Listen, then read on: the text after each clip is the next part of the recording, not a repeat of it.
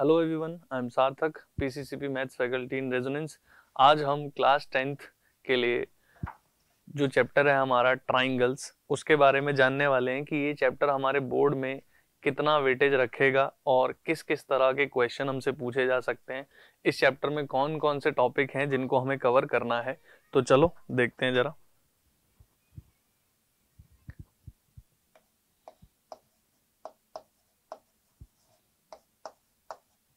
तो ट्राइंगल्स जो है बेसिकली सिमिलर ट्राइंगल्स है। इसके अंदर सबसे पहला टॉपिक जो है, जिसको हमें कवर करना है, वो है बीपीटी जिसको आप बेसिक प्रोपोर्शनैलिटी थ्योरम भी कहते हो, और इसका नाम थेल्स थ्योरम भी है। तो ये सबसे पहली चीज़ हमको कवर करनी है, ठीक है? अब इसमें क्या क्या देखना है? देखना, ध्यान देना। इस थ्योरम की स्टेटमेंट आपको आनी चाहिए ना? आपको इस थ्योरम के अंदर स्टेटमेंट पता होनी चाहिए। इसका प्रूफ पता होना चाहिए। ठीक है?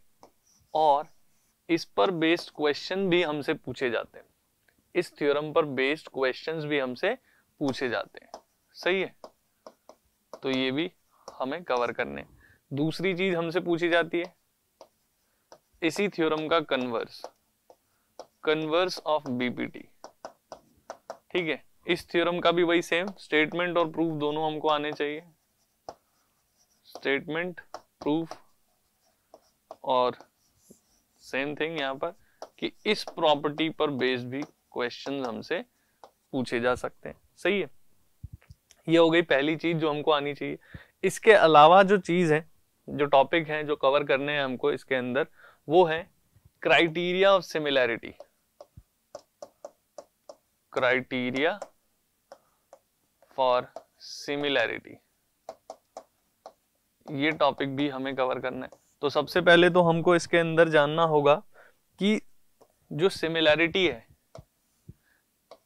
ये क्या होती है है ना? इसके बारे में आपको अच्छे से पढ़ना होगा।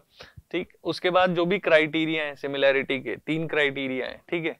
एक तो है एंगल एंगल एंगल एक है साइड साइड साइड और एक है साइड एंगल साइड, ठीक है? इसी का ही छोटा पार्ट है, डबल एंगल, है ना? हमें इन थ्योरम्स के, ये थ्योरम्स हैं, तीनों की तीनों, है ना? ये तीनों क्राइटेरिया के साथ साथ थ्योरम है ये। तो इन थ्योरम के प्रूफ क्योंकि एनसीईआरटी में दिए गए हैं तो हमें आने चाहिए। जनरली बोर्ड में पूछा नहीं जाता है, पर ठीक है, हमें आने चाहिए, क्योंकि एनसीईआरटी में है इसका प्रूफ ठीक है? तो ये थ्योरम्स के प्रूफ भी हमको आने चाहिए। अब इन प्रॉपर्टी को यूज़ करते हुए, आपने एनसीईआरटी की एक्सरसाइज जो है, उसमें देखा होगा, बहुत सारे क्वेश्चंस हैं। उनको भी सॉल्व करना हमें आना चाहिए, है ना? इन पर, इन प्रॉपर्टी पर बेस्ड क्वेश्चंस हमसे पूछे जाते हैं, वो हमें आने चाहिए। सही है? तो ये टॉपिक हो गया। यही जो टॉपिक है, पूरा इसके अंदर अभी यही है फ़िलहाल एनसीईआरटी में जो सिलेबस हटाने के बाद, ये टॉपिक्स हमको अच्छे से आने चाहिए। अब इसमें ये देखते हैं कि कैसे कैसे क्वेश्चन जो है, कितने मार्क्स के बन सकते हैं। तो अब देखो होता क्या है, ये जो थ्योरम है, ठीक है थ्योरम के अंदर स्टेटमेंट प्रूफ और क्वेश्चन होता क्या है स्टेटमेंट पूछेंगे स्टेटमेंट बताओ प्रूफ करो और उसी के साथ एक क्वेश्चन देके पाँच मार्क्स का क्वेश्चन बन सकता है। ठीक है पाँच मार्क्स का क्वेश्चन जो है बन सकता है। ठीक है? ऐसा यहाँ भी हो सकता है, ऐसी बात नहीं है कि इस थ्योरम का प्रूफ पूछ लें और आपसे बोले कि भाई इसका स्टेटमेंट बोल दें प्रूफ बोल दें और फिर उस पर बेस्ड एक छोटा सा क्वेश्चन दे दें। ठीक है? ऐसा हो सकता है।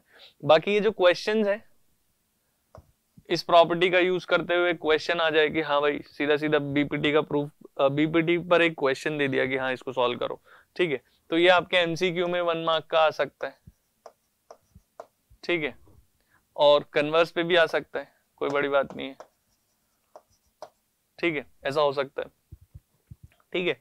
और जैसे ये सिमिलैरिटी है सिमिलैरिटी के प्रूफ पर, ठीक है? सिमिलैरिटी के प्रूफ पर तो जनरली नहीं पूछा जाता है, पर हाँ पूछा जा सकता है। ठीक? इसके क्राइटेरिया को यूज़ करते हुए क्वेश्चंस पूछे जा सकते हैं। ठीक है? जैसे टू मार्क्स का भी क्वेश्चन बन सकता है।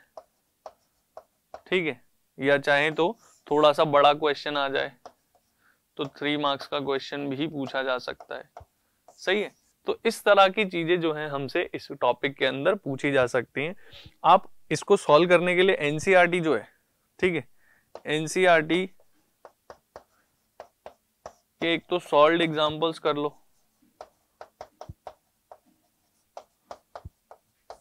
और चाहो तो एक्सरसाइज कर लो, है ना?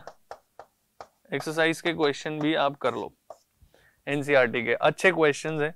उसके अलावा, अगर हम देखें तो कुल मिला के आप देखो कितना जो है वेटेज रहने वाला है इस चैप्टर का। तो लगभग लगभग मान लो आप एक क्वेश्चन पाँच नंबर का आ सकता है, एक एक नंबर का भी आ सकता है, छह, तीन नंबर का आ सकता है, नौ, है ना? तो कुल मिला के नौ नंबर का जो है इस चैप्टर का वेटेज रहने वाला है। ठीक है तो काफ़ी बड़ा चैप्टर रहेगा हमारे लिए मार्क्स के लिए। ठीक है तो आप इस चैप्टर को बहुत अच्छे से पढ़ना है अपने को, ठीक है?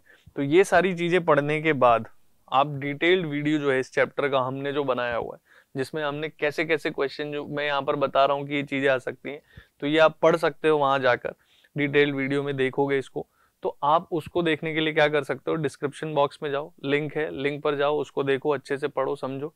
आई होप सभी चीज़ें आपको समझ आई होंगी। That's all for the day thank you